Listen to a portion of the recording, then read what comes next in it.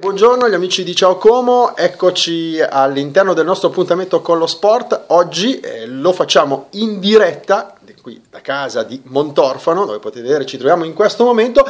Siamo a casa di Jacopo Ceruti che è tornato da pochissimi giorni dalla Dakar, ci ha aperto le porte di casa e ovviamente lo ringraziamo sentitamente per la sua cortesia. Adesso con lui parleremo ci faremo raccontare da Jacopo eh, le avventure, i bei momenti, quelli più difficili, insomma, le sensazioni. C'è Elisabetta vicino, che è la fidanzata. Ciao a tutti. Ciao Jacopo, ovviamente allora bentornato da Grazie. pochi giorni a casa. Ti ha accolto la tua fidanzata che ha seguito eh, tutti i giorni, praticamente rigorosamente, come, giusto? Come tutto l'andamento di questa uh, tua Dakar le sensazioni adesso a mente beh, fredda, sì, eh, Jacopo, dai. Bello, sicuramente un'esperienza pazzesca e eh, insomma dura perché pensavo peggio, ma pensavo anche per certi versi pensavo anche un'esperienza più tranquilla, invece comunque è molto difficile. E tu ti eri preparato molto bene, assolutamente Jacopo. Io mi ero allenato bene. Anche fisicamente mi pare perché Fisicamente cosa... ero molto allenato però non avendo una moto proprio come quella da rally per allenarmi non ho proprio fatto la preparazione che hanno fatto magari i primi piloti però mi sono sentito fisicamente molto bene solo che è una gara che ti logora a livello di ritmi, di orari eh, più, più, fisicamente o più psicologicamente secondo Jacopo? Ma se non ci sono problemi che la moto non ha problemi quindi si fa troppa fatica se, non, se, tutto più o meno fila liscio è più una fatica fisica, se iniziano ad esserci qualche problema più una fatica mentale. E comunque io l'ho sentita più mentalmente perché era il primo, il primo anno e fisicamente mi sentivo allenato, quindi l'ho, l'ho sentita più mentalmente come, come fatica. Sì, immagino anche perché poi eh, c'erano prove ogni giorno di 300-400 km almeno cronometro, quindi non erano 20-30 km, era una, una sì, pazzesca. Ecco, una cosa... più corte, 200 qualcosa. Corte, Jacopo. Alle... comunque sono, quelle, quelle corte sono quelle sempre più trabocchetto, diciamo, quindi terreni più difficili, caldo, sono quelle più da temere, quelle corte fino alla più lunga che abbiamo fatto 540 esatto 540 km è vero esattamente che l'abbiamo fatta in Bolivia a 4000 metri 3005 quindi che cosa si prova? Ecco, le sensazioni, ho visto tra l'altro alcuni colleghi tuoi hanno avuto anche dei problemi di, di respirazione, si sono sentiti male, visto sì, che in effetti ha dovuto ricorrere all'ossigeno. All'ossigeno, esatto, esatto, esatto. Tu non io, hai avuto problemi? No, no, io no perché ho preso qualche diciamo, medicina, ci sono delle pillole per l'altitudine il primo giorno. Il secondo ho visto che potevo andare comunque bene senza, quindi ho provato senza e con aiutato da magari medicine omeopatiche o li fanno degli infusi di tè che aiutano un po', eh, sono riuscito a, a non avere problemi, non, non sentire mal di testa, però ecco. in ogni caso gli affanno c'è sempre. Eh, immagino assolutamente sì. La non moto non c'è medicina per eh, bravo. La moto non ti ha dato problemi. La moto tu, non mi ha dato nessun eh, problema. Alla fine, ecco, alla fine eh, eravamo quasi tutti con noi comaschi qua a casa, compreso credo Elisabetta, a tifare perché eh, ci avevi preso gusto, eri diventato alla fine veramente al passo eh, dei big e sei stato veramente strepitoso alla fine. Sì, perché non che all'inizio sei andato ad agio, però no, immagino... Però all'inizio, è, a parte l'adattarsi alla moto poi c'è stata comunque la prima settimana più difficile, più, cioè difficile per me perché in realtà era più facile, con eh, dei percorsi molto veloci, eh, pericolosi per un certo punto di vista, ma più che altro veloci, con poca navigazione e lì è difficile fare la differenza e fare poca differenza costa tanto. Quindi ho aspettato un po' la seconda settimana per vedere come sarebbe andata e quando sono presentati terreni più tecnici, sabbiosi, con una navigazione un po' più difficile, sono, sono riuscito a, a, aumentare il passo e lì ho visto che potevo puntare più in alto, quindi ci ho, ci ho un po' provato. Oh, strepitoso comunque questo dodicesimo posto assoluto, no, ti, ti sì, viene da sorridere se alla vigilia te lo dicevano tu avresti messo la firma Sicura, subito. Sicuramente, già avrei messo la firma per finire. per chiuderla, eh, certo, certo. E mi sarebbe piaciuto chiuderla nei primi 20 perché pensavo di avere il ritmo per riuscire a entrare nei 20.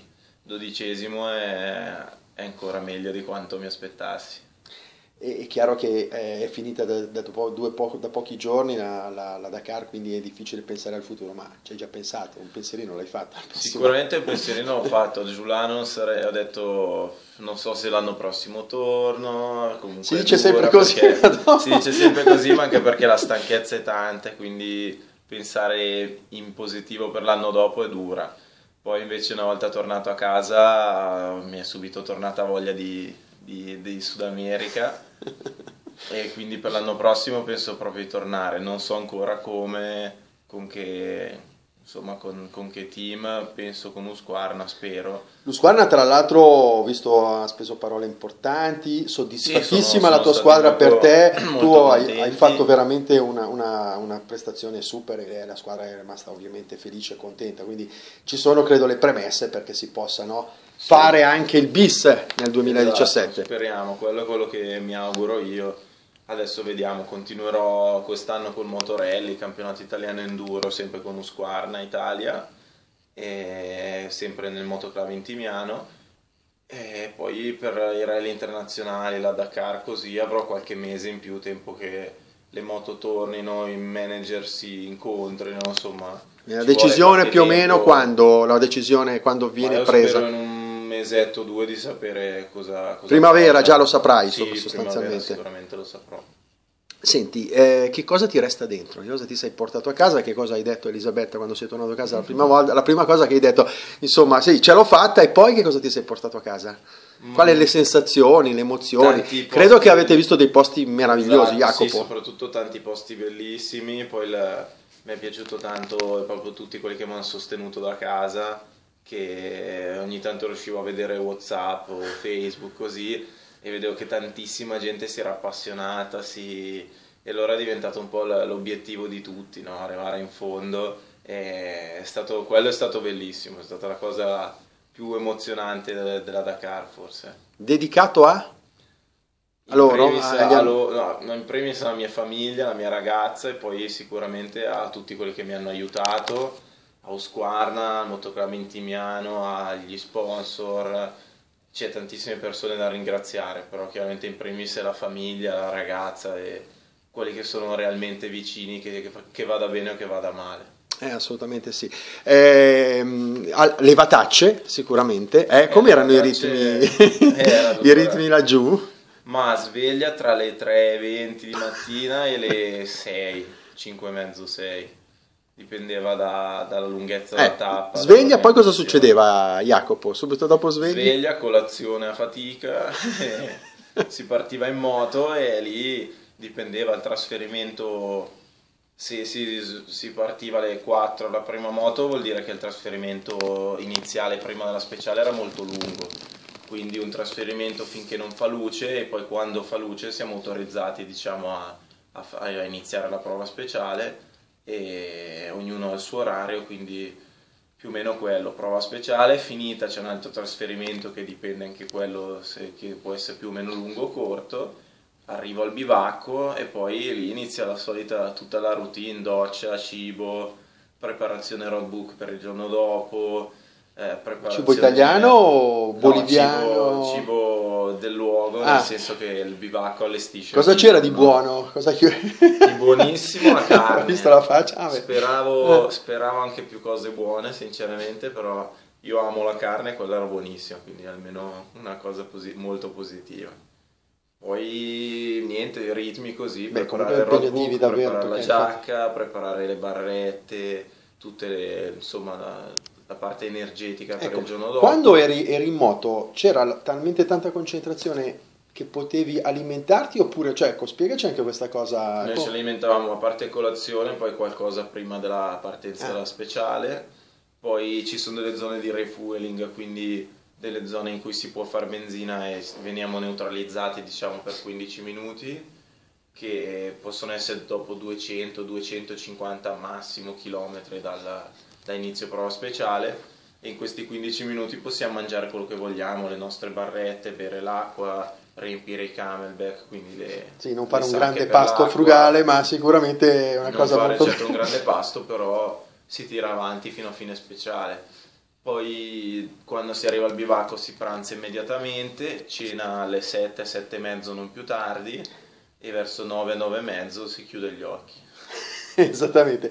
E riuscivi a chiamare la, la fidanzata? Elisabetta, sì, la chiamavo a un po' fatica nel senso che in Anche perché- Bolivia col satellitare, Ah, eh. poi a casa con cioè a casa in Argentina col telefono argentino, poi a volte non prendeva. Vabbè, sono problemi normali. E lei immagino fosse in grande comeri a casa a vivere questa emozione. Dai, sentiamo anche te un più veloce commento, poi chiudiamo l'incontro di oggi con, eh, con Jacopo che ci ha ospitato, ripeto, a casa e lo ringraziamo della sua squisita cortesia. Com'era questo, questa Abbiamo- Dakar a casa, Elisabetta? Abbiamo anche noi fatto la Dakar in tutti gli effetti proprio, abbiamo gioito e sofferto insieme a lui.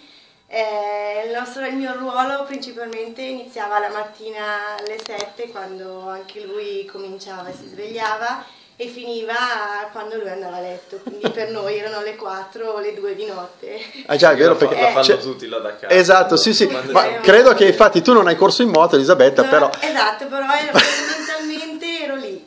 Esatto, e quanto si soffre adesso, diciamocela tutta. Poi uno dice, vabbè, sì, però da No, casa, no, eh. Migliaia di chilometri di distanza, non nascondiamocelo, è affascinante, ma è anche pericoloso. eh. Assolutamente sì, e tante volte magari il GPS non, eh, non- magari faceva un po' e quindi non, eh, magari i suoi risultati non uscivano e è stato veramente dura. Cuore in Poi- gola qualche volta? Come? Più- cuore in gola più volte? Più volte, Più volte. io Più faccio volte al più volte, Più volte al giorno. mattina fino, fino alla sera alle 9 e poi tutti perché io trasmettevo la mia angoscia alla mia famiglia piuttosto che sua mamma che lo seguiva era, era molto agitata. Meno male che io non c'ero. No, vedi, infatti no, vedi, sinceramente. E quando, sei- quando è tornato a casa che cosa hai detto? Come la prima cosa che hai detto a Jacopo? Finalmente sei tornato a casa. Poi adesso come adesso non vedo l'ora del 2017 per la. Lo lasci partire ancora? Spero di andare anch'io Ah. questa volta. Almeno. Poi so che è faticoso, però voglio viverla. Adesso voglio far fatica a essere giù, non a essere a casa. Che comunque è dura anche per chi segue. No, immagino, adesso lei è stata simpatica stessi. nel spiegarci queste cose col Dura. sorriso, ma credo che nei giorni scorsi non era così sorridente. No, anzi, no, no, è stato. Poi, se vuole venire l'anno difficile. prossimo sarà ancora più dura perché lì l'assistenza è stressata almeno quanto i piloti. Non, non c'è una fatica fisica come i piloti, ma gli orari, i- tutti i ritmi, è, è dura per chiunque, penso dal fotografo all'addetto stampa, al pilota, al, al guidatore, quello, il- quello che guida il camion. Al- è difficile. E quando dicono massacrante, Jacopo è massacrante.